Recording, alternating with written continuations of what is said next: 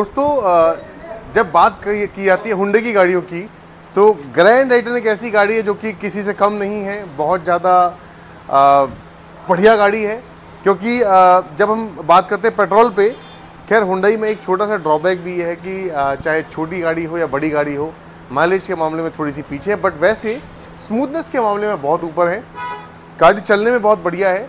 खैर ये गाड़ी जो है वो बी में आती है, इसके बाद इन्होंने नियोस लॉन्च कर दी थी और नियोस के अंदर भी अप्रूवल आ चुका है बी एस सिक्स का तो ये भी गाड़ी जो है, वो बी एस सिक्स में ही काउंट होगी, क्योंकि 2020 का इसका रजिस्ट्रेशन है। इस गाड़ी के अंदर हमने सी एन जी किट का इंस्टॉलेशन किया था ऑलमोस्ट हो चुके हैं 10 से 12 दिन। आज इस कार के जो ओनर हैं, वो आरसी अपनी कलेक्ट करने के लिए आए हुए हैं आरसी लेने के लिए आए हुए हैं। तो मैं आपको एक बहुत छोटी सी बात ये बताता हूँ कि बहुत मज़े वाली बात है कि मैंने इस गाड़ी के अंदर फ़िलहाल कोई भी जब किट लगाई थी, कोई भी एडवांसर नहीं लगाया था।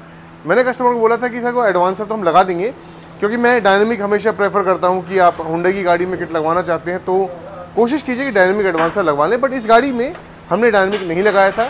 मैंने कस्टमर को बोला था कि एक बार हम ऐसे ही चलाते हैं इसको, देखते हैं कि हमारी जो है फिटिंग कितनी अच्छी है कि उसमें बिना डायनेमिक एडवांसर की परफॉर्मेंस आ पाएगी या नहीं आ पाएगी। तो इस गाड़ी को इन्होंने कम से कम 500 से 600 किलोमीटर ड्राइव कर लिया है। मैं आपको दिखा देता हूँ किस तरीके से इसमें फिटमेंट की हुई है, कौन सी किट लगाई है। इस गाड़ी के अंदर हमने मीज़ो गेट लगाई है और मीज़ो के अंदर जो रिड्यूसर है वो अपना डबल स्टेज रिड्यूसर निकल के आता है। ईसीएम जो है वो 48 पिन का है। जो इसके फीडिंग वॉल्व है, आगे से गैस फिल हो पाती है। चार इंजेक्टर्स यहाँ लगाए हुए जितनी भी वायरिंग है, सारी की सारी ट्रिपल लेयर में कन्वर्ट की हुई है। आज हम इसके अंदर डायनेमिक एडवांसर इंस्टॉल कर रहे हैं। डायनेमिक एडवांसर से अब क्या परफॉर्मेंस बढ़ेगी, वो तो खैर बाद में पता लगेगा।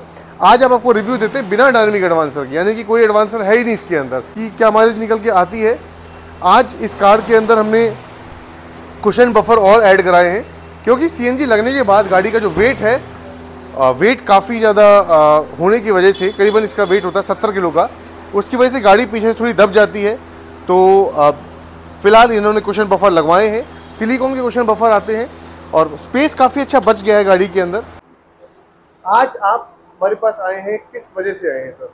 आज मैं यहाँ पे एक्चुअली आरसी कलेक्ट करने आया था प्लस मैं लास्ट टाइम बात कर गए थे कि डायनामिक हम लगाएँगे। हाँ। थोड़ा चेक कर मतलब लेते हैं गाड़ी कैसे चलती है। तो उस चक्कर में आया था फिर क्वेश्चन थोड़ा मैं ये चाह रहा था कि थोड़ा मैं महसूस करना चाहता था कि बिना डायनेमिक के और डायनेमिक के साथ में कैसी गाड़ी चलेगी? आपने इसको दस दिन हो गए चलाते जाते हाँ गाड़ी को। क्या ओवरऑल मतलब आपको फीडबैक है? जिन बहुत सारे ऐसे कस्टमर्स हैं जिनके पास ग्रैंड आइटम है जिन्होंने हम्म। सीएनजी लगवा रखी है और बिना एडवांसर के चलाते हैं या एडवांसर के साथ चलाते हैं बहुत कंफ्यूजन है एडवांसर को लेकर।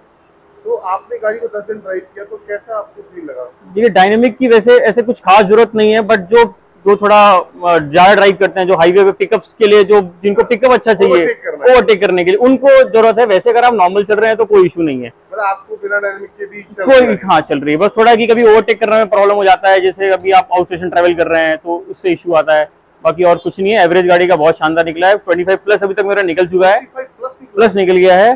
प्लस इसमें अभी एक डॉट सीएनजी का और बाकी है। तो जहाँ तक मेरे को लग रहा है 250 प्लस किलोमीटर ये चलेगी चलेगी।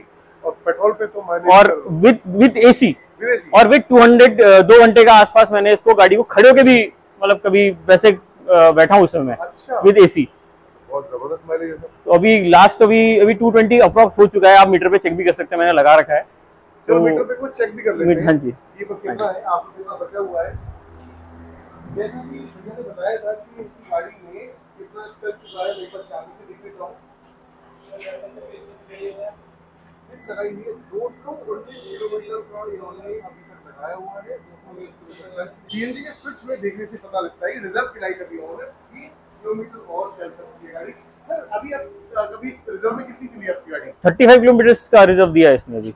रिज़र्व अभी पे। फ़िलहाल जैसे आप रिज़र्व में लगाए अभी लगाई? नहीं नहीं अभी अभी तो लगा ही नहीं है अभी तो ग्रीन डॉट अभी है। अच्छा ग्रीन डॉट है हाँ अभी? हाँ अभी है। अच्छा, अभी अच्छा। रिज़र्व ही नहीं लगा है।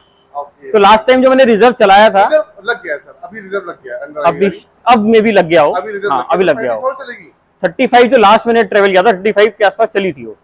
तो मैं अभी एक बार और रिज़र्व कोड एक बार चेक कर लूँगा कितना चलता है। वैसे पेट्रोल पे माइलेज क्या है गाड़ी की? पेट्रोल पे बारह तेरह चौदह ज़्यादा ज़्यादा पंद्रह। हाईवे पे? सत्रह अठारह। सर बहुत बढ़िया माइलेज हाँ बहुत बढ़िया। तो दोस्तों ये है हुंडई की ग्रैंड जिसने बहुत अमेजिंग बहुत बढ़िया माइलेज निकाल दी है। पिकअप में भी कोई इशू नहीं है। आज इसमें डायनिंग लगाएँगे। उम्मीद करता हूँ डायनिंग लगाने के बाद माइलेज भी बढ़ेगी और आपका पिकअप भी बढ़ेगा। तो दोस्तों आप भी इसी ड्राइव के साथ मिलकर अपनी ड्राइव को चुना सकते हैं और इस तरह की इन्फॉर्मेशन के लिए इस तरह की वीडियोस के लिए मेरे चैनल को सबसे पहले सब्सक्राइब कर दीजिए बेल आइकन को दबाना